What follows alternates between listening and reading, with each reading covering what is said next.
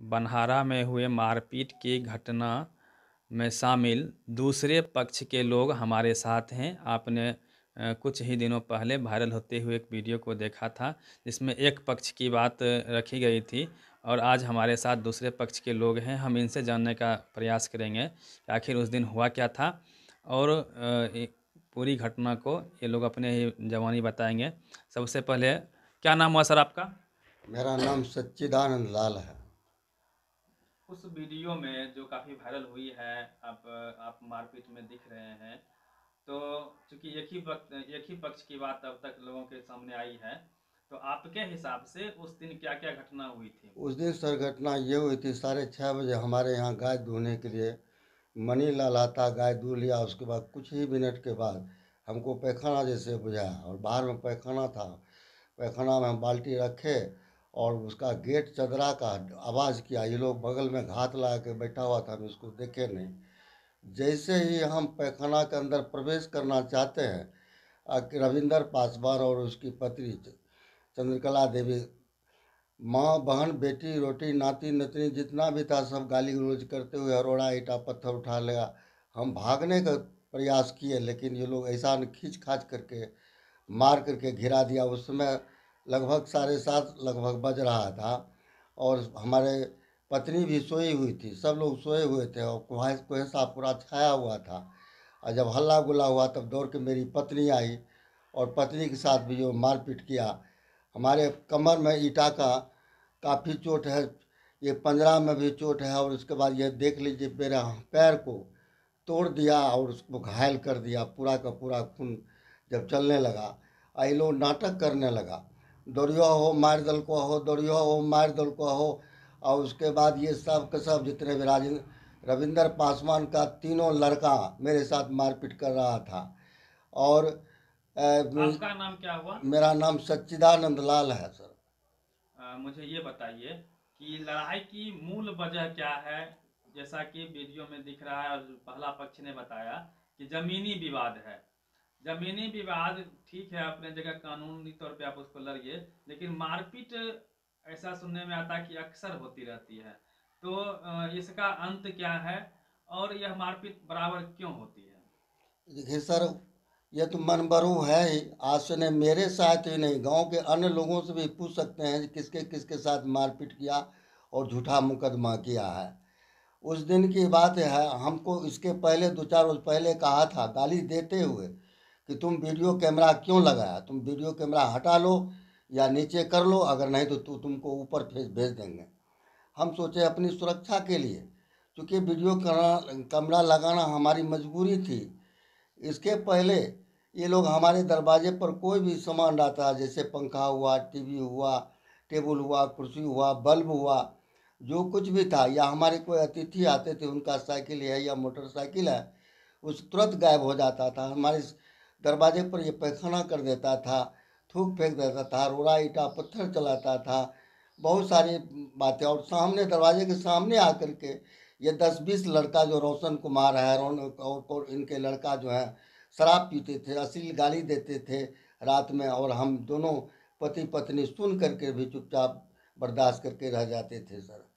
और उसके बाद ये कहा नहीं हटाने के हटाने के लिए जब हम नहीं हटाए तो ये लोग षडयंत्र रच कर करके मेरे साथ उस दिन मारपीट किया।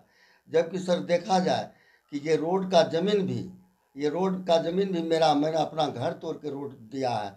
आज तक हम इस रोड पर चल चल नहीं पाते हैं। जहाँ जाते हैं मारपीट करना शुरू कर देता है। आप हमारे पास सीसी कैमरा लगाने का पर एक कारण यही था कि इतना तंग किया और गाँव के लोग भी हमको साथ नहीं इतना दबंग है कि गाँव के लोग भी हमको साथ नहीं था। अगर गाँव के लोग हमको साथ दे देगा तो उसको भी फंसा देता है किसी न किसी रूप में इतना भय पैदा किए हुए है। और इसलिए हम सोचे हमको कोई साथ देगा ही नहीं तो हम कहीं पर भी अपनी पंचायत हो या प्रशासन को खबर करेंगे तो क्या होगा? अब इसके सबूत के लिए मैंने मजबूरी में सीसी कैमरा अपनी सुरक्षा के लिए लगाया था। और ये पहले कहते पक्ष का कहना है कि जमीनी विवाद है और इस विवाद को लेकर बराबर आपके द्वारा केस किया जाता है। ये इसमें कितनी सच्चाई है और साथ ही साथ वर्तमान में आप पर भी एफ़ आई जहाँ तक मुझे पता है कि S C S T act के तहत उन लोगों ने किया है और आपने भी भगवानपुर थाना में एफ़ किया है। तो क्या लगता है कि एफ़ के अलावा जो मारपीट अक्सर होती रहती है उसका क्या भविष्य है? क्या यह कैसे खत्म होगा? सर, देखिए, इसके लिए कम से कम तो पूरे इलाके के करीब करीब बीस बीस गाँव के मुखिया, सरपंच, प्रोफेसर, डॉक्टर, इंजीनियर सारे लोगों को मैंने बुद्धिजीवियों को बुला करके पंचायत बुलाई है। और पंचायत में निर्णय लिया गया और पंचायत को पहले ही मान लेता है, जब निर्णय की बात आती है, बस सीधे भाग जाता है।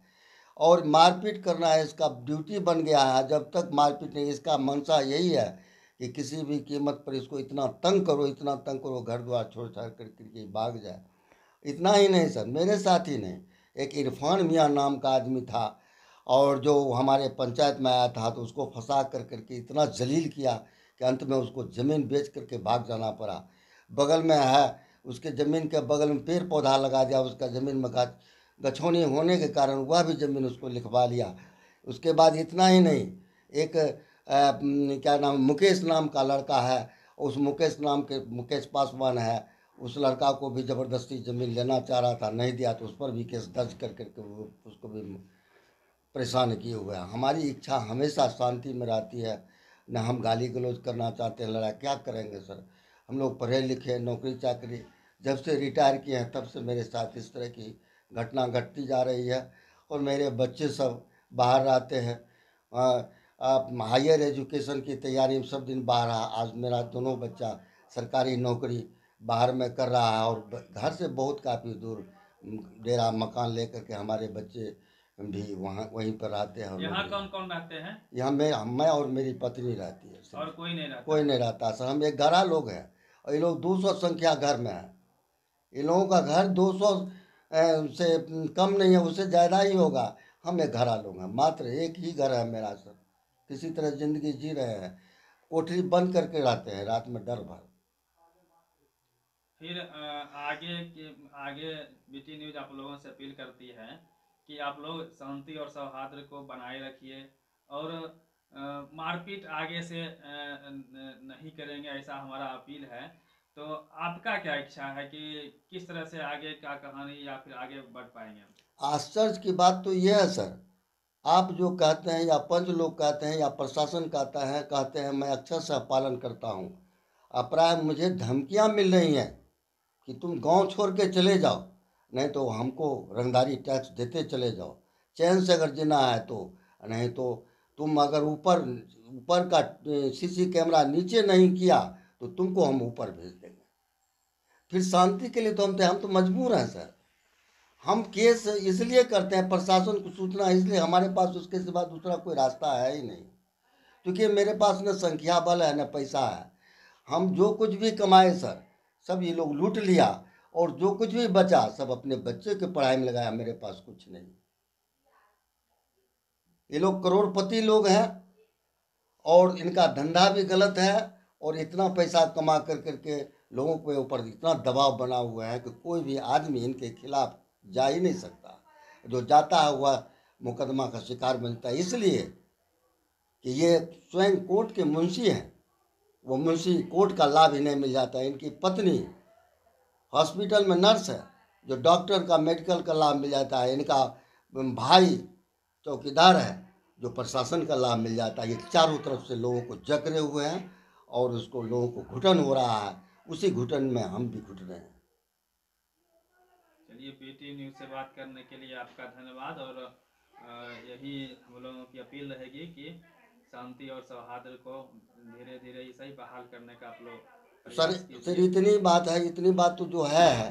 अब उस दिन की घटना को देखिए आप सारा चीज़ मैं ये आपसे आग्रह करूँगा कि सीसी कैमरा को खंगाला जाए और खंगाल कर सारी घटनाओं को देखा जाए मेरे साथ इन्होंने क्या किया। और ये प्लानिंग बना करके मेरे साथ हरिजन एक्ट में हमको फंसा दिया इतना ही नहीं हमारा सात आठ बरस का एक पोता है उसको भी हरिजन एक्ट में डाल दिया। जबकि सर पूरे गाँव के एक एक बच्चा कहेगा जो उसका बाल बच्चा वो अपने कितना बड़ा जालिम है। ये चंद्रकला देवी कहती है, मैं फूलन देवी हूँ। और यहाँ हम, हमरे सामने तो दूर के दरोगा के सामने भी कहा, मैं फूलन देवी हूँ। इनका ज़मीन को हड़प लेना, ज़मीन ज़मीन पर किसी तरह का भय दिखला करके लिखवा लेना ही इनका काम है। इनके पास इसी तरह से रंगदारी कर करके परेशान कर करके दसों बीघा से ऊपर ज़मीन बनाए हुए हैं, करोड़ों के मालिक मालिक हैं। हमारी हैसियत को देखा जाए, इनकी हैसियत को देखा जाए। जी, बहुत बहुत धन्यवाद आपका, आपने बात अपनी